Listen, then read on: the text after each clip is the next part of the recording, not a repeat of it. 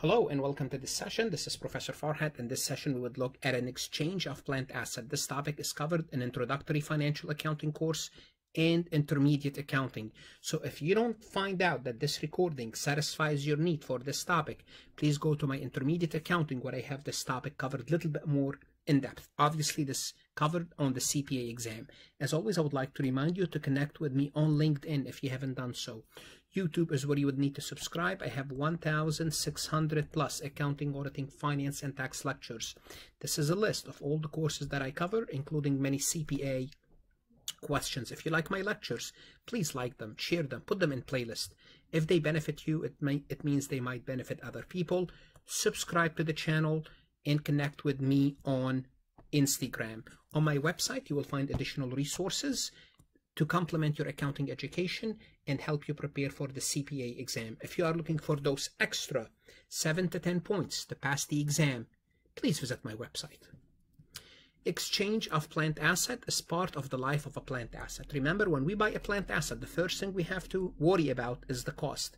To record the asset at cost. Then we depreciate the asset, allocate the cost to period benefit. Then we account for subsequent expenditure. Then we dispose of the asset. Under disposal of the asset, we can sell it, which we already talked about selling the asset. And when we sell it, either we have a gain or a loss. And now we are going to exchange the asset. And under exchange, we might have a gain or we might have a... Let's talk about exchanging plant asset.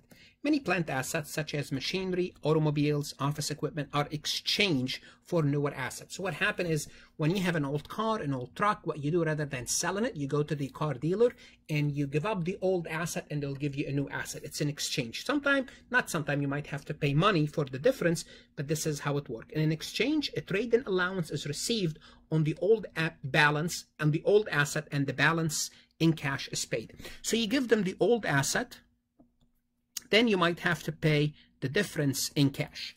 This is an important concept I want you to understand.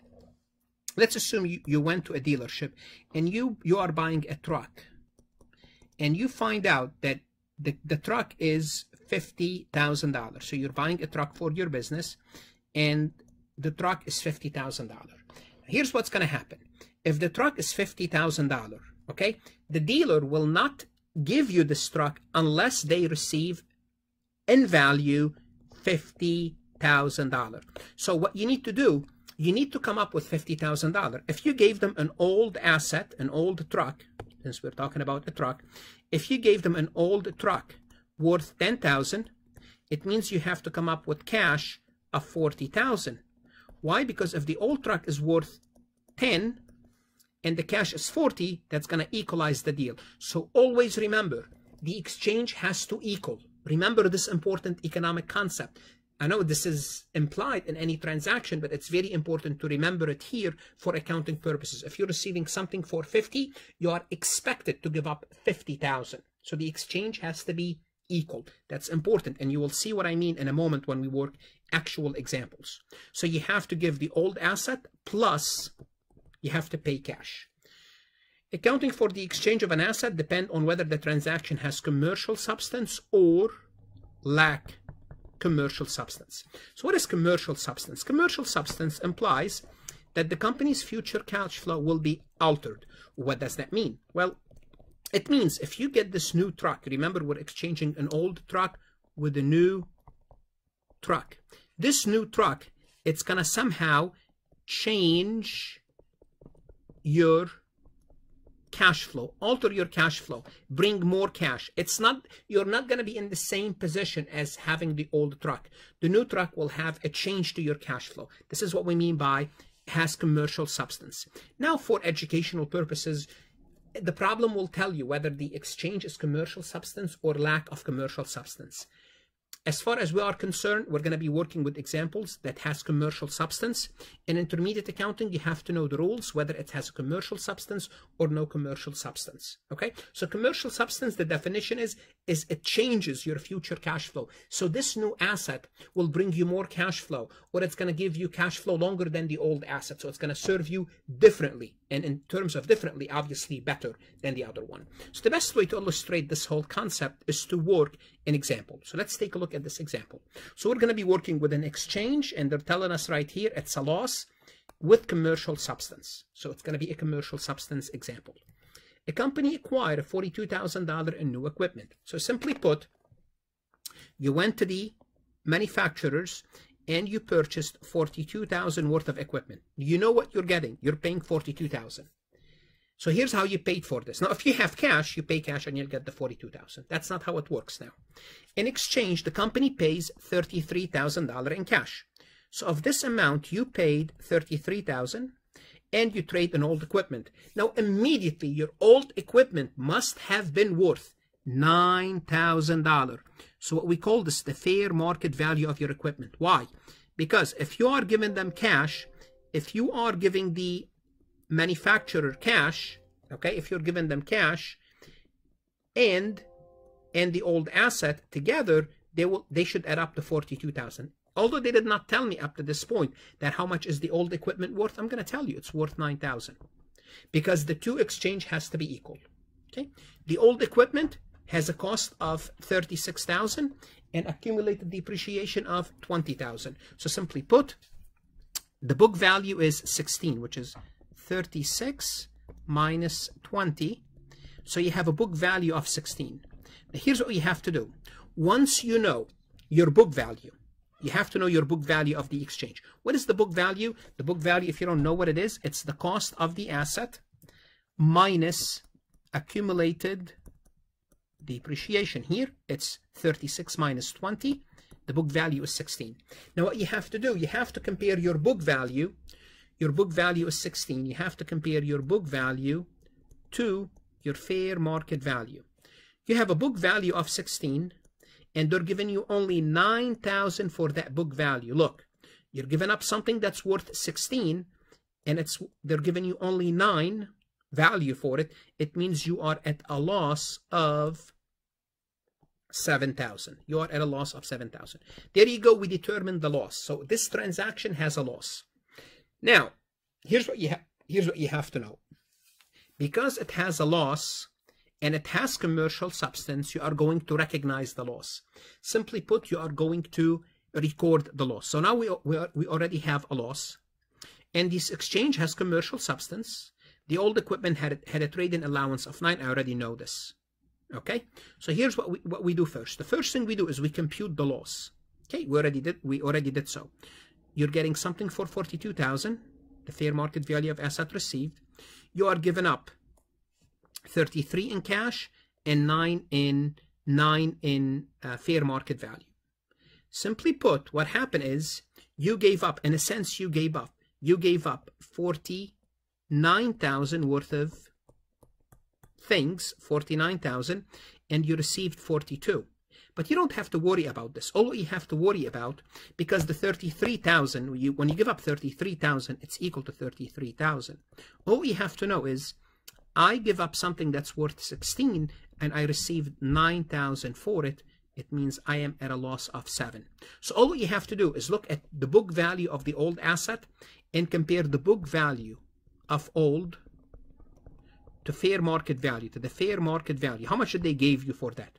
They gave you for that, they gave you for that $7,000 less. If that's the case, you are at a loss. So you don't have to really compute the cash and the equipment and compare it to the total fair market value of the asset received. Just look at the old equipment and compare to it's what they gave you. They gave you less, you have a loss. So what journal entry do you make? Well, you have to get rid of the old equipment. You have to credit the old equipment and you have to debit accumulated depreciation.